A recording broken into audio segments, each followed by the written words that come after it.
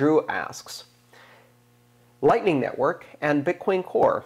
It's become clear that the Lightning Network is the winning choice for scaling the Bitcoin network. As such, do the developers for the base protocol and the developers for the second layer communicate with each other? Are they actively working together? Um, that's a great question, Drew.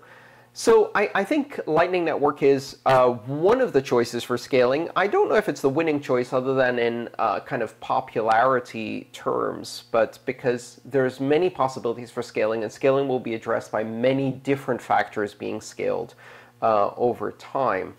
But in terms of your question, the developers of the base protocol and developers for second layer do communicate with each other. In fact, there are a number of um, a, number of things that can be done in the base protocol to make uh, Lightning better, and there have been a number of Bitcoin improvement proposals for that.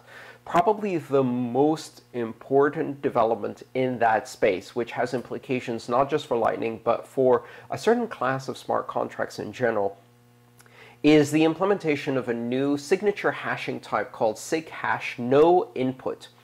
And so traditionally with, uh, with signatures, uh, you can define by the signature type whether you're signing all of the inputs and all of the outputs in a transaction, whether you're signing just one input and one output, uh, one input only and no outputs. And there wasn't a way to do it so that you could sign um, just the outputs and no inputs. And part of the reason for that is because that's a dangerous uh, mechanism. You don't want to use that if you have a single signer address because um, then that, that creates dangerous conditions. So in the case of Lightning, however, that kind of functionality becomes very useful for the implementation of a protocol called eltoo, E-L-T-O-O. And eltoo is a new type of payment channel um, and it uh, is more efficient uh, and requires kind of less work in the client than the payment channels we have today, which we'd probably call Poon-Dryja uh, payment channels, traditional payment channels, where you have to have a penalty mechanism in order to ensure that a previous state cannot be broadcast. And that's for that reason you need to be online and you need to have watchtowers that watch for your channels to make sure that the other party didn't try to broadcast the prior state. eltoo actually does away with all of that because uh, it makes it impossible to broadcast the prior state, therefore you don't need a penalty, therefore you don't need watchtowers, um, and so it's a, a, big improvement, but it does require this change in the core protocol. So SigHash no input is one of the features that's being considered for the next uh, big soft fork, which is the, uh, uh, the upgrade of SegWit to the scripting version v1. So we're currently running SegWit v0. Um, there's an upgrade being planned for v1, which includes things like Taproot, Graftroot, MAST, uh, Schnorr signatures, and SigHash no inputs. And SigHash no input is a feature specifically um, uh, specifically being introduced in order to facilitate better implementations of the Lightning Network payment channels. So yes, there is collaboration between Core and Lightning. Milan asks, the locking and unlocking Bitcoin script for Bitcoin Lightning. I have found great high-level descriptions of how the Bitcoin Lightning Network functions. However, none where how it looks like on the Bitcoin script level. And um, so the question here is, how does the script inside the Lightning transaction look like? For unlocking, there are a number of different scenarios. The sender could close the channel and release the funds. The receiver could close the channel and release the funds. And the channel could get closed through, um, through some kind of uh, uncooperative or timeout close. Let me see if I can uh, very quickly um, find uh, the specific bolt. Um, so the answer you're looking for is straightforward. There is a specification for uh, Lightning called Basics of Lightning Technology or BOLT. Um, Bolt is um, a specification of how the various parts of the interoperable uh, Lightning Network that is currently deployed works.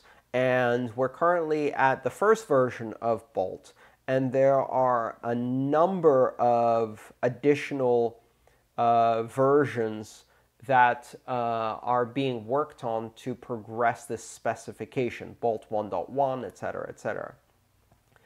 Um, the Bolt standard consists of, I believe, 11 different sub-documents, Bolt 1, Bolt 2, Bolt 3, Bolt 4, and each one specifies a different part of the protocol. So some describe how the peer-to-peer -peer network, how routing works, how um, invoices are formatted, how uh, DNS is bootstrapped, how channel discovery happens, etc., etc.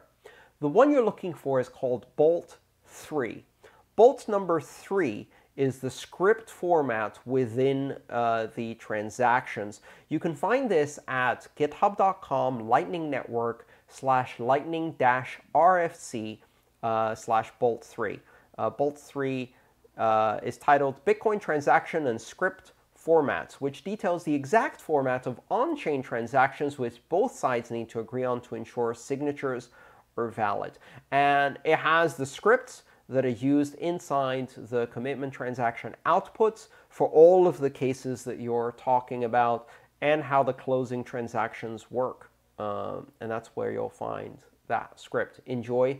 It's some fun reading. You'll learn a lot about the scripting language uh, it's not easy to read, I can warn you about that, um, because it's been optimized to reduce the amount of data being used. Essentially, the script itself has been gradually refined and optimized and polished and compressed so that it does the thing we want to do, but not in a way that's very verbose so that it cuts down on the space that's used on the blockchain. So it's a bit difficult to read, but uh, enjoy that.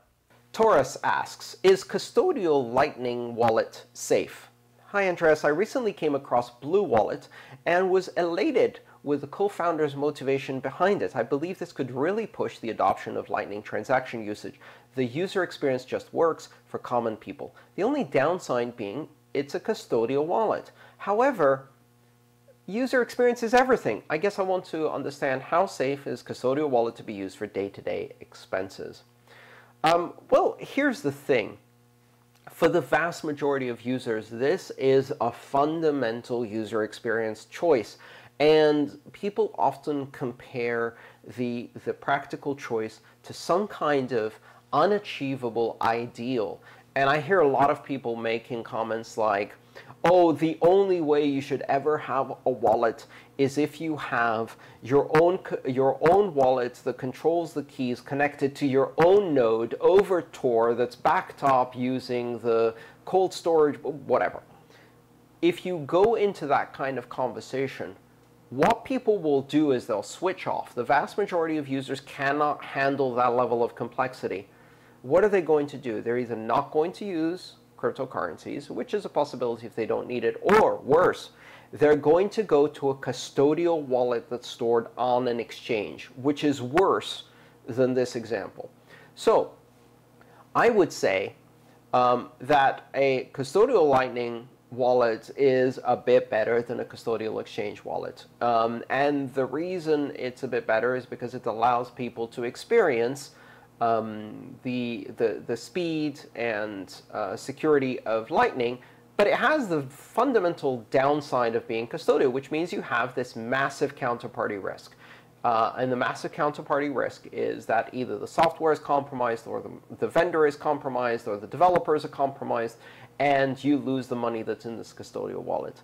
So as a bridge between now and the future, where um, more people want to experience Lightning wallets and use it, but they don't have yet the availability of good wallets, um, they don't yet have the infrastructure to build their own, or use their own node, or do any of these other things, um, it's, it's better than nothing, honestly. And I think it's, it's important to realize that this is the same fundamental conundrum we have with Lightning, which is that um, the alternative to Lightning isn't on-chain. The alternative to Lightning is payments uh, between custodial wallets on the provider's network using a SQL database. So the alternative to Lightning for most users is not to go on-chain and control their own keys and run their own nodes. Um, it is, in fact, um, to use a Coinbase wallet to pay another Coinbase wallet, at which point they're not using crypto anymore. Uh, they're using a SQL database. So um, from that perspective, I think it's an acceptable compromise for small amounts of money for experimentation for now. Long term, if you really want to get the most benefit out of using Lightning Wallet, the same rule applies as applies to Bitcoin. Your keys, your coins, not your keys, not your coins.